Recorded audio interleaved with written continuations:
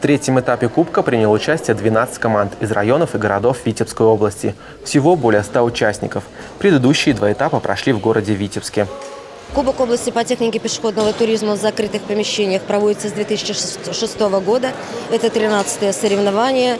Проводится он с целью развития спортивного туризма в учреждениях образования Витебской области, повышения спортивного мастерства, отбора сильнейших участников и с, с последующим участием в республиканских и международных соревнованиях. Ну а привлекает э, туристов таки, такой вид спорта, конечно, своей зрелищностью, динамикой прохождения. Я имею в виду, что в закрытых помещениях динамикой. Здесь все видно, как, что каждый участник выполняет, как он готов. Для наибольшей зрелищности организаторы подготовили три ветки равнозначной дистанции, что позволяет одновременно стартовать нескольким участникам и повышает уровень конкуренции среди спортсменов.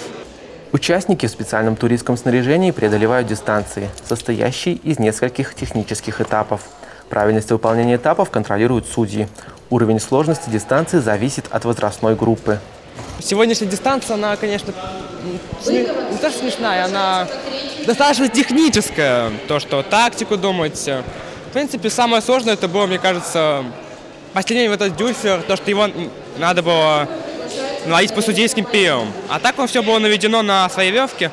Но что привлекает, это, не знаю, красоты походов одно из это, плюс дистанции.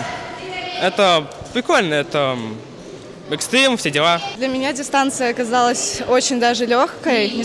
Это, наверное, из-за того, что я часто проходила и очень усердно готовилась.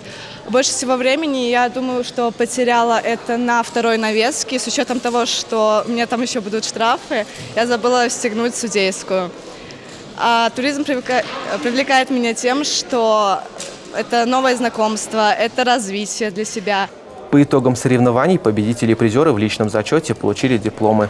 В командной борьбе по сумме трех этапов Кубок уже восьмой год подряд завоевал Новополоцкий дворец детей и молодежи. Теперь сильнейшие спортсмены уже в ближайшие выходные примут участие в республиканских соревнованиях по туристско-прикладному многоборью, которые будут проходить в рамках республиканской спартакиады детей и молодежи.